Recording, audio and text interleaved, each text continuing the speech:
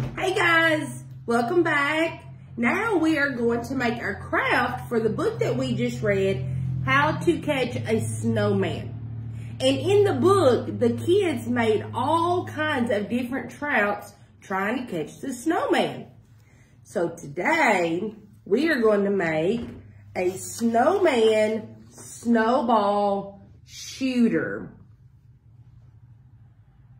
Maybe you all can make one of these and then you could have like a snowball fight inside or outside because with this, we don't use real snow.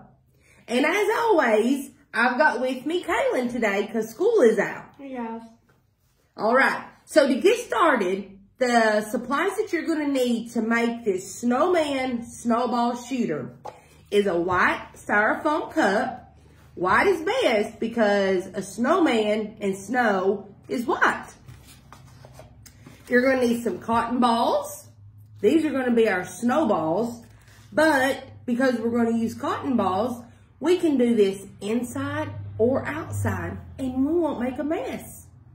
You're going to need a balloon, any color that you want to, to make it look like a hat on top of the snowman. And then we have Sharpies.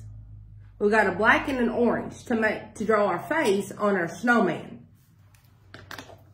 To get started, on your styrofoam cup, you need to cut the bottom out, okay? So you may need to have an adult to help you with this because you're gonna have to use scissors to cut that out. Now, Caylynn is gonna draw the face of her snowman on her cup.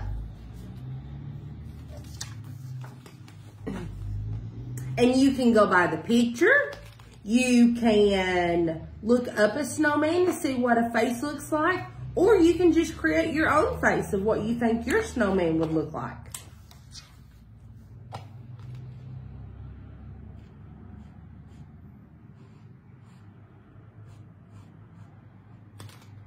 And we're using an orange marker for the nose to make it look like a carrot. Because we all know that when you stick a nose on a, cat, on a snowman, you usually use a carrot.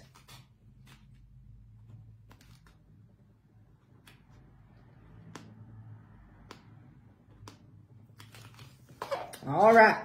So Caylynn has her face. See there?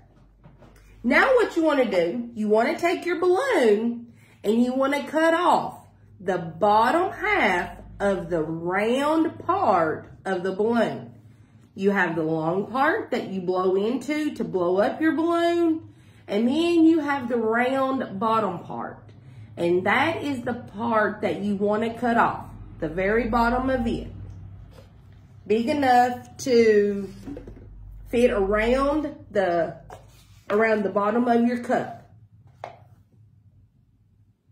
And this part is a little hard too, so you're going to need an adult to help you with this part.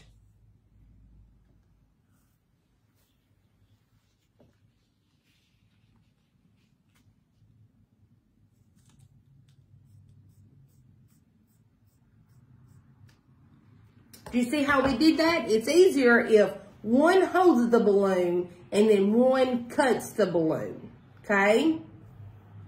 Now, you're going to want to tie a knot in the top of your long part that you blow into to blow up your balloon.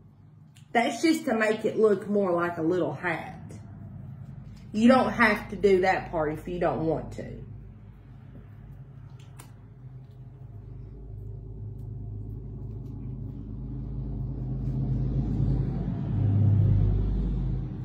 And this part is sometimes hard.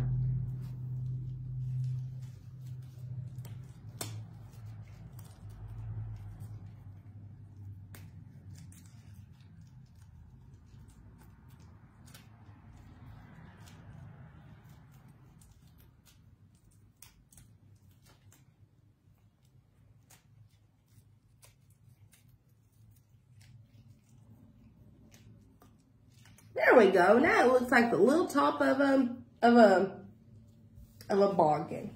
Now, you're going to stretch it out and you're going to put this part over your cup.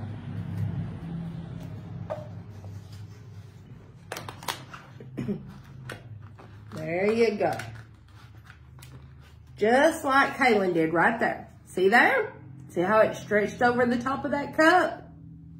Now comes the real fun part. You turn it over. You put your snowballs in there. You can use one or you can put multiples in there. Caylynn put three. Now, she's going to pull on this part right here. She's going to pull down. Hold this part where your balloon is onto your cup. Pull down, and then you're going to let go. And when you let go, watch what happens. Did y'all see that? All those snowballs, cotton balls, popped out. Like a little cannon. That is so cool. So here we go. Whee! Guys, this is such a fun little craft to make.